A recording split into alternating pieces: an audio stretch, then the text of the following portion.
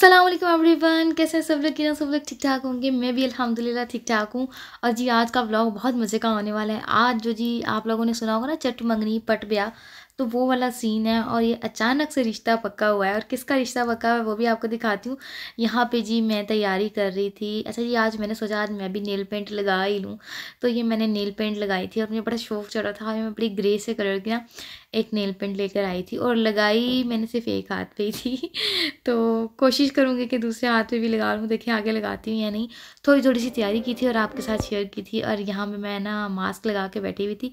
और थोड़ी सी जो है ना मैंने अपने हाथों की वैक्सिंग की थी। और मेरे हाथों पे ना बहुत कम बाल है, लेकिन वो कहते हैं ना बहुत दिनों बाद जब कोई फ़ंक्शन आता है ना तो आपको जोश चढ़ता है। और ये जोश जोश में उल्टा खींच लिया था तो इतनी ज़ोर से आवाज़ आई। हालाँकि मेरे छोटे छोटे से ये देखें, यही मेरे जो है ना बाल है, इतने ज़्यादा मेरे ग्रोथ नहीं है हेयर ग्रोथ नहीं है। तो ये है ना, मैं यू वाली यूज़ करी थी, इतनी अच्छी नहीं है, वैसे वेट की ज़्यादा अच्छी है तो मुझे तो कोई ख़ास नहीं लगी। तो बस शौक चढ़ा था, इसलिए कर ली। तो ये देखें, इस तरीके से मैंने वैक्सिंग कर ली थी। अच्छा पहले हम लोग गए थे ढोलकी पे, ढोलक पे गए। वहाँ पे जो है ना, मैंने फिर आपके लिए जो है ना सारे क्लिप्स लिए। यहाँ पे जो है ना, मैं आपको बताती हूँ कि रिश्ता पक्का किसका हुआ? रिश्ता पक्का हुआ माशाल्लाह से मेरी नंद की बेटी का। मेरी नंद अपने पहले बच्चे की शादी करी है, यानी पहली बेटी की शादी करी है। तो फिर ना, बहुत ज़्यादा खुशी हुई इस चीज़ की। अचानक से बस रिश्ता हुआ और सब सब कुछ डन भी हो गया और शादी भी बहुत करीब है तो वो भी सब आपके साथ शेयर करूँगी। तो आज मैंने सोचा कि मैं आप लोग के साथ जो है ये वाला व्लॉग तो शेयर करूँ ना। तो यहाँ पे कुछ ड्रेसेस थे जो मेरी नन ने अपनी बेटी के लिए और उनके ससुराल वालों के लिए कुछ चीज़ें ली थी और ये मेरी नन की बेटी जो है ना, उसके हाथों पे मेहंदी देखे माशाल्लाह कितनी अच्छी लगी हुई है। तो वो मेहंदी वेहंदी भी मैंने आपके साथ शेयर की है। हल्की फुल्की सी अपनी तैयारी भी जो है वो शेयर की है। तो प्लीज़ व्लॉग को ज़रूर लाइक कर दीजिएगा। मैं बहुत ज़्यादा डिसार्ड होती हूँ कि मेरे मतलब इतने तीस, पैंतीस व्यूज़ चालीस व्यूज़ आने के बावजूद भी किसी एक बंदे ने भी लाइक नहीं किया होता यार। ये बस अब ज़्यादती हो गई है, बस अब आप लोग ना प्लीज़ लाइक कर दिया करें। वरना मुझे लगता है मैं किसी किसी दिन ना बस वो कहते हैं ना, दिल हार बैठे तो दिल हार बैठूँगी। तो मैं नहीं चाहती कि मैं हिम्मत हारूँ तो प्लीज़ जो है ना मेरी हिम्मत को बनाए रखें और मुझे सपोर्ट करें। तो सपोर्ट इस तरीके से आप कर सकते हैं कि मेरी वीडियो को लाइक कर सकते हैं और मेरे चैनल को सब्सक्राइब कर सकते हैं। तो फिर जब व्यूज़ इंप्रेशन सब डाउन हो जाते हैं ना, फिर दिल करता है, बस, आज लास्ट डे था वीडियो का। फिर कहती हूँ, नहीं, डाल लेती हूँ, कोई बात नहीं, हिम्मत करनी चाहिए। तो यहाँ पे मैं आपको सब चीज़ें दिखा रही थी, जो उन्होंने बड़े अच्छे से ऑर्गेनाइज़ की हुई थी। तो यहाँ पे जो है ना, वो सब चीज़ें हमें दिखा रही थी, क्योंकि हम ना एक दिन पहले, जिस दिन इंगेजमेंट थी ना, उससे एक दिन पहले चले गए थे। और ये जी तरह ठुमके छुमके चेक करें, ये है जी माशाल्लाह से दुल्हन की मम्मा मेरी नन डांस करी थी। तो फिर मैंने ना ये क्लिप भी ले लिया। तो माशाल्लाह सब बहुत ज़्यादा खुश हो रहे थे। होता है ना कि जब पहले पहले बच्चे की खुशी होती है तो एक अलग ही जो है ना वो चाह होते हैं, वो वाली बात है। तो यहाँ मैंने सब लोगों की मेहंदी दिखाई आप लोगों को और थोड़ी थोड़ी सी जो है ना ढोलक भी बजी। बहुत ज़्यादा देर के लिए नहीं, हम गए थे थोड़ी सी देर के लिए गए थे। तो ये था कि नंद की खुशी के लिए चले गए थे, वरना बहुत ज़्यादा थकावट हो चुकी थी। और यहाँ पे जी ये मैं और मेरी बेटी माशाल्लाह से और बस मैं बस इतना कुछ ख़ास तैयार नहीं हुई थी, लेकिन फिर भी तैयार हो गई थी। तो ये सब सेलिब्रेशंस मैंने आपके साथ जो है ना शेयर की।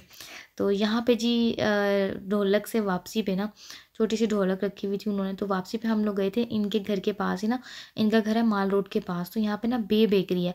किस किस को बे बेकरी का पता है? मुझे ज़रूर कमेंट में ज़रूर बताएँ। अच्छा बे बेकरी के ये जो होते हैं ना क्रीम पफ वाकई बहुत मज़े के मैंने सुना हुआ था, लेकिन मैंने खाए तो मतलब थर्टी रुपीज़ का एक है और बहुत रिजनेबल प्राइस में है, बहुत सॉफ्ट है, बहुत मज़े का है।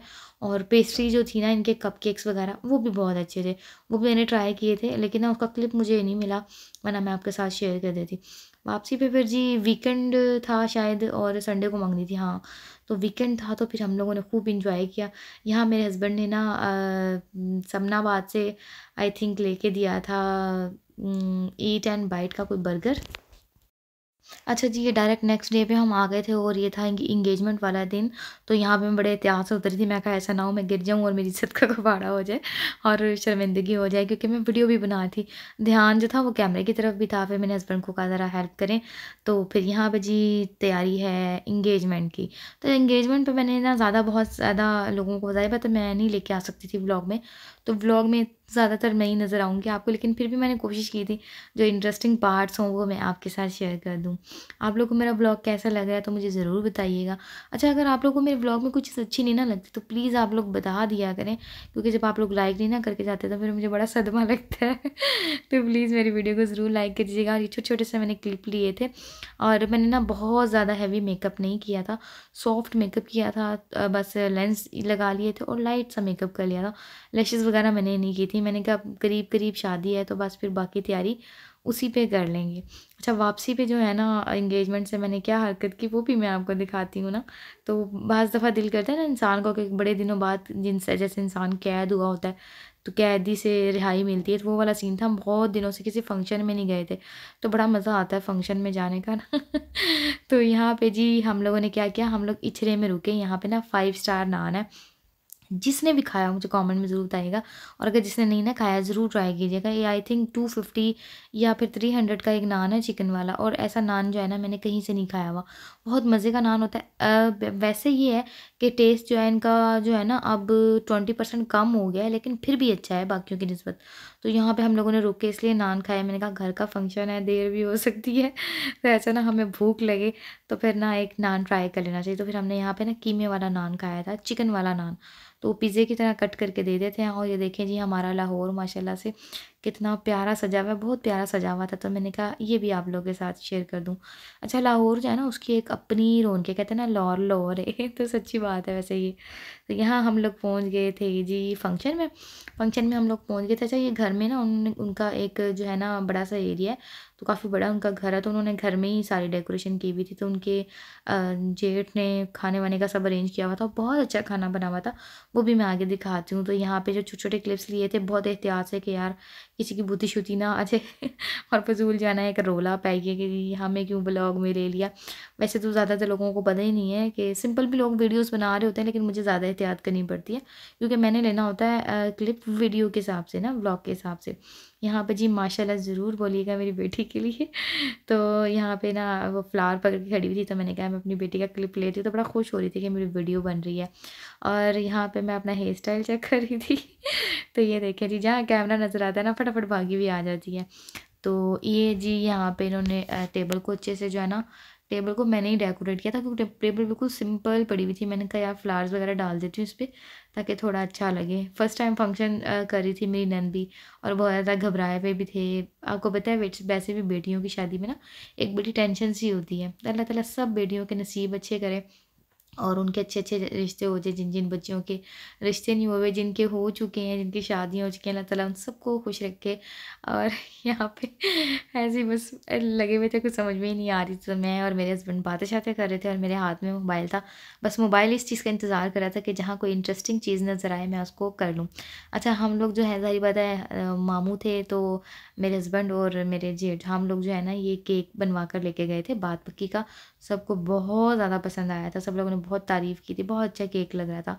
तो इस पर हमने बात पक्की लिखवा लिया था और बहुत अच्छा लग रहा था, मुझे तो बहुत अच्छा लगा था ना ये वाला केक। तो यहाँ पे जी लड़के वाले जो हैं वो लोग एंटर हो रहे थे तो फिर यहाँ पे जी माशाल्लाह माशाल्लाह मेरी बेटी। अच्छा जो है ना, अभी इसका ड्रेस वेस मैंने कोई भी नया नहीं ख़रीदा था तो पुराना ड्रेस ही था। तो बस हम मेरा भी ड्रेस पुराना ही था। तो मेरी कोशिश होती है कि मैं अपने ड्रेस को ना कोई ना साल के लिए छुपा दूँ और फिर साल बाद या छः महीने बाद जब कोई फ़ंक्शन आए तो उसको दोबारा भी निकालूँ। अच्छा पुराने कपड़े पहने में कोई हर्ज नहीं होना चाहिए। बंदा हेयर स्टाइल चेंज कर ले, अगर अपना मेकअप चेंज कर ले तो बस डैशिंग डैशिंग हो जाता है। तो आप लोग ऐसा करते हैं या नहीं करते हैं? मतलब पुराने ड्रेस पहनते हैं या नहीं पहनते? वैसे भी मैं कहती हूँ, पहन लेना चाहिए यार। इतने मतलब इन्वेस्टमेंट की होती है ड्रेस के ऊपर तो उसे एक आध दफ़ा पहन के ज़ाया कर देना बहुत गलत बात है। यहाँ पे मैं आपको खाना दिखा रही थी। खाने में था जी कोरमा था चिकन का और मतंजन था और क्या था? देख लूँ पहले। और था जी, यहाँ पे था जी देसी मुर्ग का पुलाव था। बहुत मज़े का बना हुआ था देसी मुर्ग। अच्छा ये मुर्गे भी इनके घर के पले हुए थे ना। इनके छत पे काफ़ी बड़ी स्पेस है। तो वहाँ उन्होंने मुर्गे शुरगे पाले हुए थे। अब चलते हैं जी वापस। वापसी पे क्या हुआ जी? वापसी पे हील पहन के जो मेरे पैरों का हाल था ना, और यहाँ पे हम आ गए थे जी अपनी औकात पे। जूता शूता उतार दिया था। हमने अपना मेकअप भी काफ़ी हद तक जो है ना रिमूव कर दिया था। और ये वापसी पे ना बच्चों को शौक चढ़ा कि हम लोग ना अपनी पिक्चर्स बनाते हैं। तो फिर मैंने कहा, मैं भी तुम लोग के लिए ना पिक्चर्स बनाती हूँ और मैं अपना ब्लॉग बनाई थी। तो यहाँ पे देखें जी सड़क पे खड़े हो गए। मेरे ख्याल से कोई साढ़े बारह, एक बजे का टाइम था और हम लोग जो है ना बस पागलों की तरह लगे हुए थे और बाइक वाले लोग हमें देख देख के जा रहे थे, इनको क्या हो रहा है? तो जी अच्छा जी, उम्मीद करती हूँ कि आप लोगों को मेरा ब्लॉग बहुत अच्छा लगा होगा। अच्छा लगा होगा तो प्लीज़ वीडियो को लाइक ज़रूर कर करिएगा अच्छा इसमें कुछ क्लिप्स जो है ना, बड़े ब्लड ब्लड से भी थे तो वो किसी और के मोबाइल से लिए हुए थे। उनको मिक्स मैच करके मैंने अपना ब्लॉग बना लिया था। तो जी, मिलते हैं हम नेक्स्ट किसी वीडियो में। थैंक यू सो मच जजाकल्ला, खैर हाफिज़।